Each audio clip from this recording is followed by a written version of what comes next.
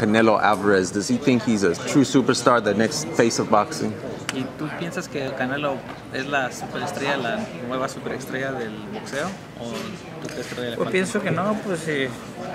Para, para ser alguien grande tiene que enfrentar a lo mejor y es lo que él no quiere, él quiere sacar un poco más provecho de lo, de lo que tiene, seguir creciendo económicamente y, y con los fans, pero él tuvo mucha, mucha proyección por Televisa y por eso le pusieron muy alto.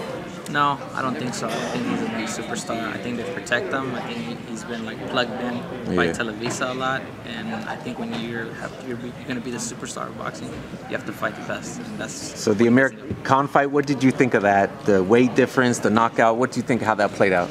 la pelea de Khan y Canelo. ¿Qué pensaste de eso?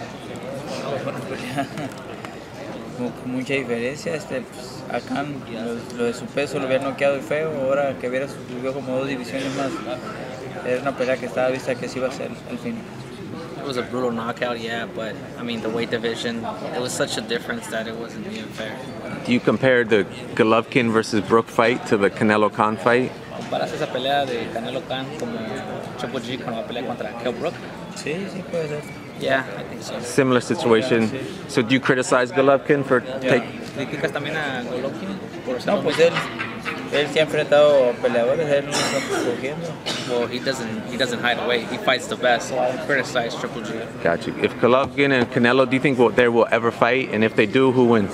Si pelea Canelo contra Golovkin, ¿quién gana esa pelea? Yo digo que Golovkin. I think GG, Golovkin. Triple G. GGG. Thank you for your time.